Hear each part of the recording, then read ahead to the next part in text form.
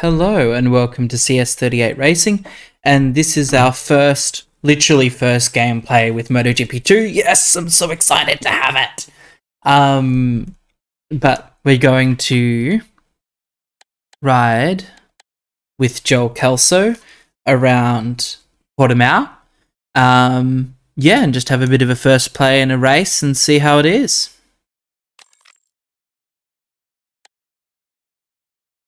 So we're going to go Portimao as the track.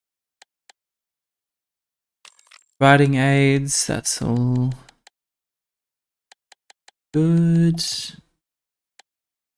Race options. We'll do three laps. Okay. I just want to go back can test something in options, controls. I want to change this to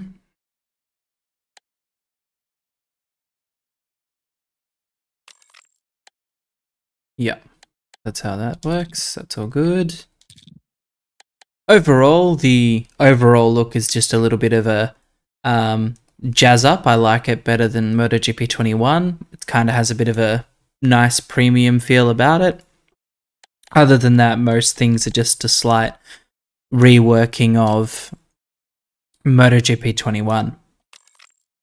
So, let's get down into it. I'm going to do some FP2, then we'll come in for some qualifying and a race. Alright, see you guys down in qualifying. Okay, so we made it into the top qualifying, which is pretty good. So we're overall combined fifth. So let's go out do a couple of laps and see how it goes. Of course, we're going to switch. Oh, how do I? That's riding a manual setup, change compound, change it to a soft, soft. There we go. Let's go, flying start. So overall, it's pretty similar to MotoGP 21. Um, of course, with the need for upgrades and all that kind of stuff to the liveries. But anyway, we're going to find out how we go here.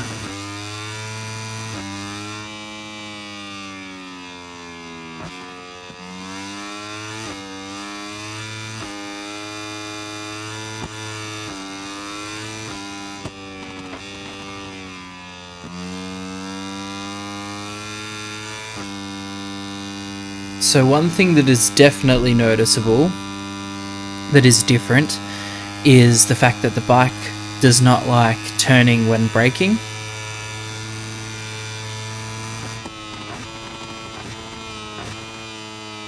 That is primarily the big difference.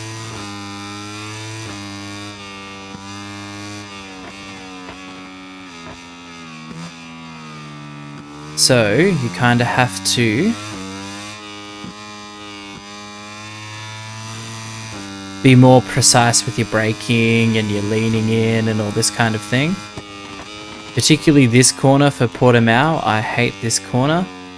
I can never gauge where I need to brake or where I need to lean in.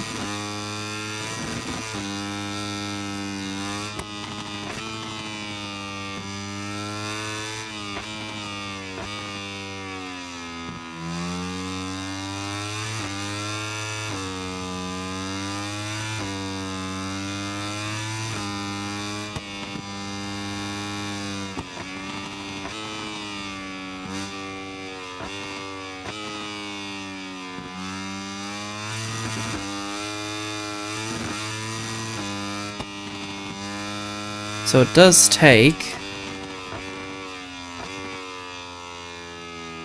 a little bit to get used to the physics.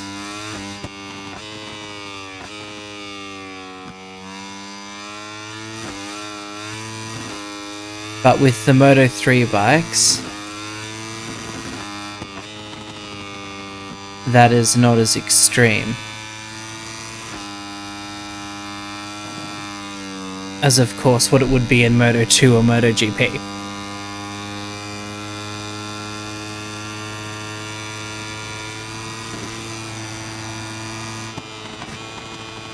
Whoa! And it's more likely to do that, uh, having head shake under braking, um, than in GP21. Particularly uh, surprised me for the Moto 3 category.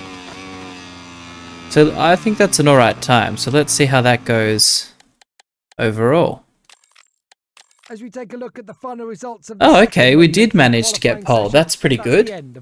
Good for us. Also, it'd be good if Kelso could get pole this weekend. Um, it was where he got his first win in the CEV uh, Moto 3 Championship, which is now called the Junior World Championship, which is the Moto 3 category that races around Europe. This is where he got his first win and really speared his charge into the Moto 3 World Championship. So Hopefully, like we have done for Joel Kelso, he also goes well. Alright, let's go to the race. Okay, so, because it is a three lap race, we're just going to go with the soft soft and just see how it goes.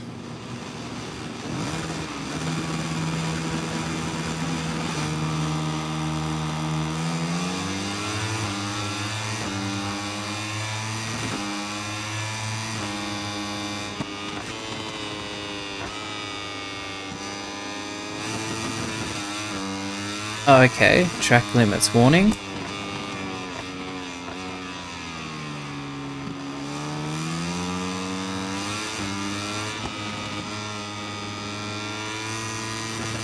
Have a crash in the first sector there.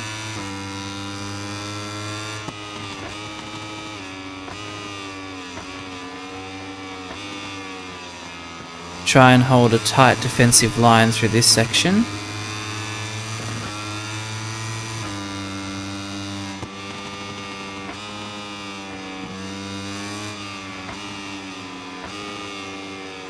I found in the practices that that corner in particular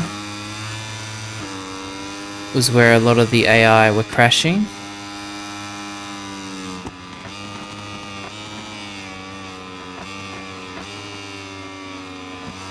And this corner is where the AI catch up.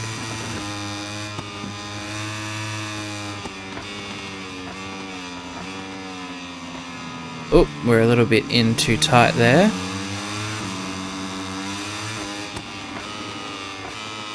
Just got McPhee on the back of us.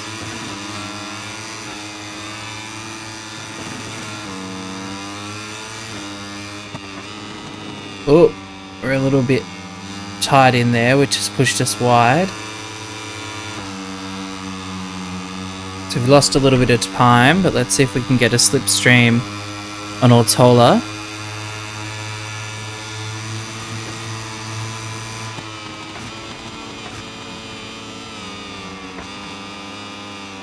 Whoa, had big head shake there.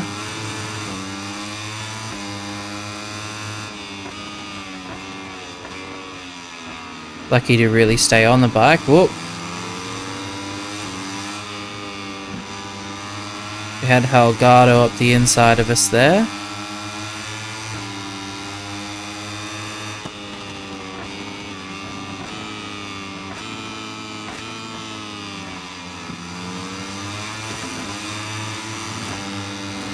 We've got oh, Artigas on the inside of us there.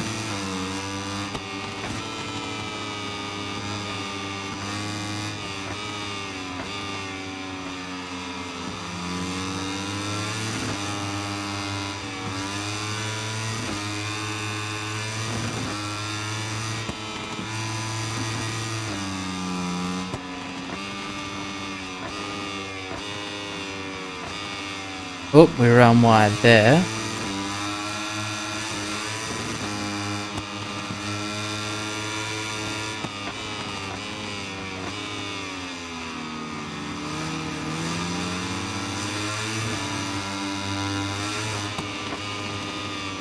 Just lost a bit of our rhythm there.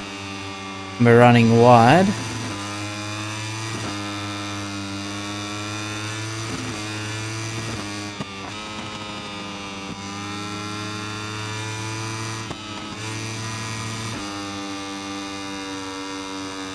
Okay, so got a bit of time back to uh, Bertelli behind us, Bertelli or Bernatelli, whatever his name is.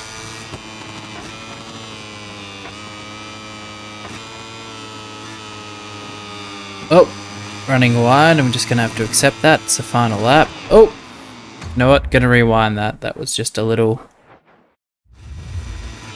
little mishap there.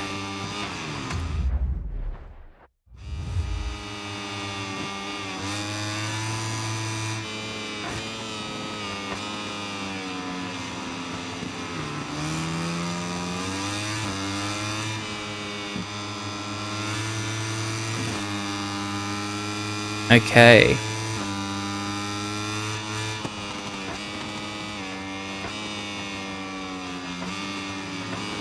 We've run really deep there. Oh. Bernatelli is through on us.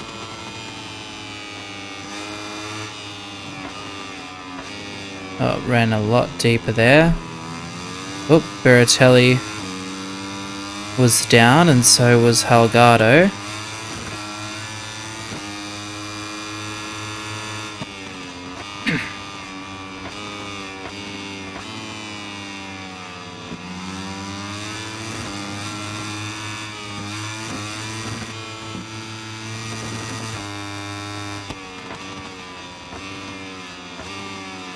Let's see if we can get onto the back of Holgado.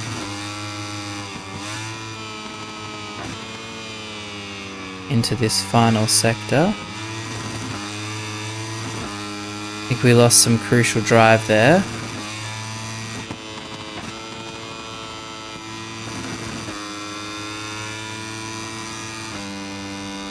I've got some good drive, but I think we're a little too far back to really catch Holgado. There we go fourth place for our first ever race in MotoGP, uh, MotoGP 22 in the Moto3 category. So that's not too bad at all. Not too bad at all. All right. Thank you guys for watching. I'm going to be putting out a review of MotoGP 22. I'm also going to try and get out over the weekend a uh, back-to-back uh, MotoGP 21 in Moto 3, Moto 2, Moto GP, and sort of compare the two. And then I'm going to give a review. And I'll also give a review after a couple of weeks of playing it once I've gotten used to the physics. All right, so please like and subscribe. Really would like it if you'd comment down below how you're finding the game and what you like about the game, or hope you would thought of thought would be in the game but isn't in the game, or what is in the game but you didn't think was going to be in the game. All right, anyway, please like and subscribe. Really means a lot here at CS38 Racing so we can keep giving you the content you guys like. All right, thank you. Over and out. Bye.